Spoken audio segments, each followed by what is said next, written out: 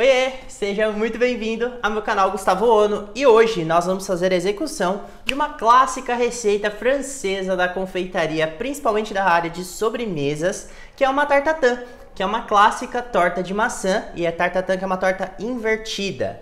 E geralmente ela é feita na frigideira, mas eu vou te mostrar aí uma técnica que dá pra fazer caso você não tenha uma frigideira com cabo de metal. Antes da gente começar, já dá um like aqui, se inscreve no nosso canal para nos incentivar a fazer cada vez mais vídeos por aqui e crescer ele mesmo. Todos os ingredientes estão aqui na descrição do vídeo e presta atenção na técnica porque é o mais importante aqui desse preparo todo. Primeira coisa, a gente tem que escolher uma boa maçã verde para fazer. Se você quiser fazer com a maçã Fuji ou com uma maçã vermelha, dá certo, mas fica mais saboroso com a verde porque ela é mais ácida e contrasta mais com o caramelo da receita. Eu vou começar aqui descascando essa maçã. Tô aqui com um descascador de legumes, mas você pode descascar na faca também se você quiser. Eu sempre gosto do descascador de legumes porque ele tira uma capinha bem fininha e mesmo se você não tiver muita experiência, você consegue tirar ali a casca do, do produto que você estiver utilizando.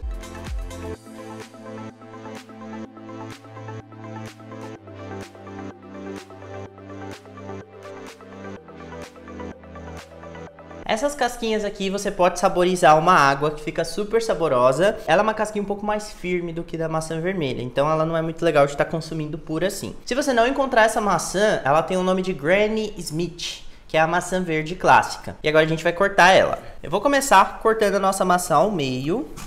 E agora que ela está cortada ao meio, eu vou cortar ao meio novamente. Nesse sentido de comprido assim.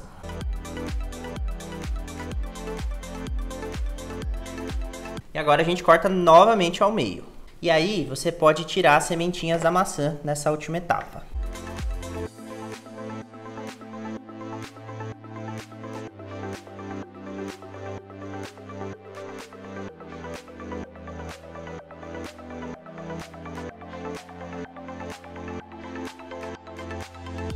Com as nossas maçãs já cortadinhas, a gente vai começar o nosso caramelo imediatamente. E a gente quer a nossa maçã cortada assim desse jeito, como se fosse uma pétala para a gente montar na nossa forma. E aqui a gente vai começar ligando o nosso fogo bem forte. E eu vou adicionar aqui já o meu açúcar refinado para a gente começar nosso caramelo. Eu também vou utilizar aqui a pasta saborizante baunilha royale da Dabella, mas você pode usar a fava se você quiser também.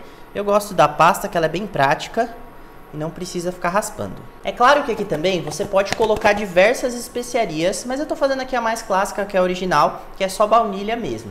Mas se você quiser, você pode colocar uma pitadinha de canela, cravo, cardamomo, anis estrelado, diversas especiarias, vai deixar super gostosa essa torta. Eu vou aproveitar aqui e já adicionar minha manteiga também. E a gente vai cozinhar mexendo até que se forme um caramelo bem bonito. Com essa técnica aqui, a gente não carameliza só o açúcar, a gente carameliza também a proteína do leite que tem aqui. E isso traz um sabor mais complexo e gostoso para nossa torta.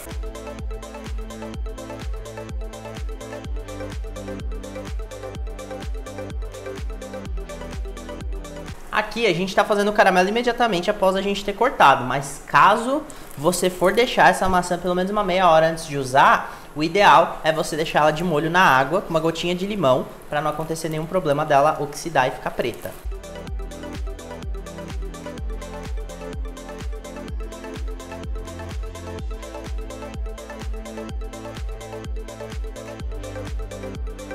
Agora que nosso caramelo já tá bem bonito, ó, ele tá numa corzinha bem clarinha, ele vai escurecer mais conforme a gente cozinhar. O que a gente vai fazer agora é arrumar nossas maçãs aqui, colocar elas para dar uma cozinhada. Mas eu não quero cozinhar muito, porque senão a maçã vai perder a textura gostosa e eu quero manter ela mais firme nessa receita aqui. A maçã da tartatã é totalmente um purê, totalmente mole, e eu gosto dela um pouco mais firme uma consistência, uma textura para poder comer assim. Eu acho mais interessante. Mas se você quiser cozinhar bastante, é só deixar aqui no fogo. Aqui, ó, eu vou misturar esse caramelo que é firme, vai começar a ficar mais líquido, porque a maçã vai soltar bastante água. Você cozinha até o ponto que você gosta. Eu vou deixar elas um pouquinho transparentes, mas eu não vou cozinhar totalmente. Vai demorar cerca aqui de uns 4, 5 minutinhos.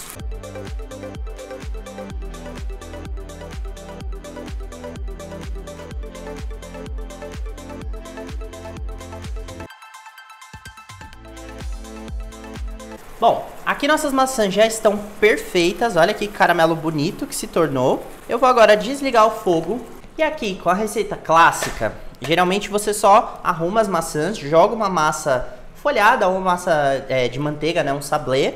E aí você já leva para assar dessa forma. Mas eu vou fazer aqui em forma de fundo removível, porque não é todo mundo que tem uma frigideira grande dessa. Ó, essa aqui é uma forma com aro removível, eu coloquei um plástico filme embaixo. E não, o plástico filme não vai derreter no meio desse processo. Então vamos pegar aqui nossas maçãzinhas e vamos ajustar elas. Elas estão com bastante textura, eu não deixei elas cozinharem por muito tempo. Agora a gente vai arrumar de um jeito bem bonito aqui, poder fazer a nossa montagem.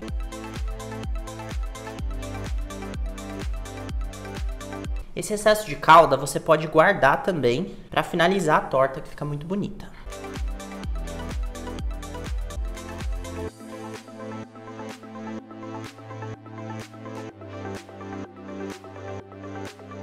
Agora que os pedacinhos já estão todos arrumados desse jeito, olha aqui que lindo. A gente vai colocar isso no congelador para a gente fazer a nossa massa agora e a gente poder colocá-la aqui em cima. Agora nós vamos fazer uma massa base de torta super gostosa e muito facinho de fazer, que a gente começa com a técnica de cremagem. Vou começar aqui adicionando minha manteiga, que está em textura de pomada, bem cremosinha, e vou adicionar o meu açúcar refinado. A gente vai misturar isso aqui para virar uma pastinha. E se a sua manteiga estiver gelada, não dá para fazer essa massa. Então você tem que levar para o micro-ondas de 5 em 5 segundos até ela ficar cremosa. Ó, misturei aqui, virou um creminho. Eu vou adicionar o ovo. Esse daqui é inteiro. Muitas massas de torta vão só a gema. Lembrando que se você quiser fazer na batedeira também pode. Agora é só a gente vir com a nossa farinha de trigo. Muito fácil de fazer, né?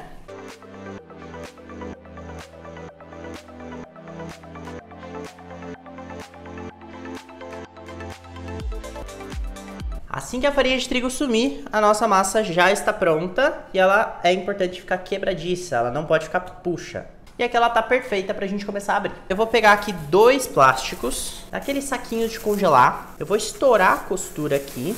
E aqui a gente vai colocar a nossa massa para abrir. E precisa ser entre dois plásticos. Porque se você abrir com farinha na bancada, ela quebra porque ela não tem nenhuma elasticidade. Então a gente vai abrir aqui ela redondinha, mais ou menos o tamanho da nossa assadeira, pra gente poder envolver todas aquelas maçãs. E para ela ficar redondinha, é só você colocar essas bordas mais grossas para dentro, que ela vai ficando perfeita. Aqui eu já abri ela, tirei aqui, ó, que a gente vai só jogar por cima das maçãs. Essa nossa massinha que já tá na espessura perfeita, não muito grossa, não muito fina, tem que abrir com mais ou menos uns 20 centímetros de diâmetro. Ó, nossas maçãs estão todas bonitinhas aqui. A gente só vai pegar aqui a nossa massa, ó, com bastante cuidado nesse momento. Cuidado para não ir plástico dentro. E a gente vai virar aqui por cima das nossas maçãs. Aí é só a gente tirar os plásticos. A gente só ajeita a nossa massa no topo. Tenta abraçar o máximo possível as maçãs.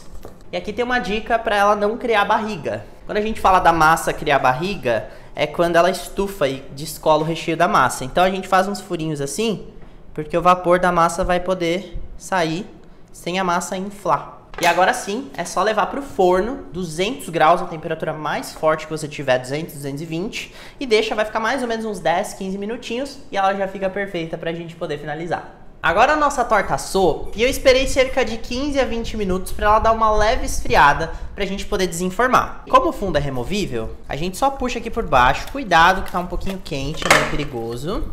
E agora a gente tem que virar essa torta. Então eu vou fazer assim, ó. E aí eu viro pra gente poder tirar esse caramelo e as maçãs. Então eu tô aqui com uma faquinha. A gente vem delicadamente passando por, por baixo e uau, está pronta a nossa maravilhosa tartatã. Para dar uma finalizada, eu gosto de pegar um pouquinho daquele nosso caramelo reduzido e jogar um pouquinho em cima para ele ficar mais brilhante e mais bonito. Esse caramelinho que sobra, você pode usar para fazer a finalização. E os restaurantes geralmente fazem com essa técnica para não ficar muita água na torta e você poder armazenar ela na geladeira assim por até 7 dias. E aí usa esse caramelo, dá uma leve aquecida só para finalizar para mandar para o cliente. Olha que lindo que fica quando a gente adiciona o caramelo.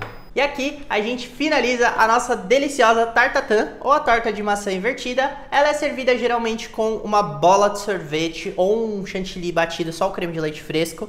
E ela é uma das clássicas sobremesas francesas deliciosas. Eu espero que você goste desse vídeo e faça também porque ela é muito especial. Quando fizer, já me marca lá no Instagram que eu vou adorar ver esse resultado final dessa clássico doce francês. Obrigado por você que assistiu esse vídeo. Olha no detalhe como ficou linda essa torta. Um beijo, até semana que vem e tchau, tchau. Ciao!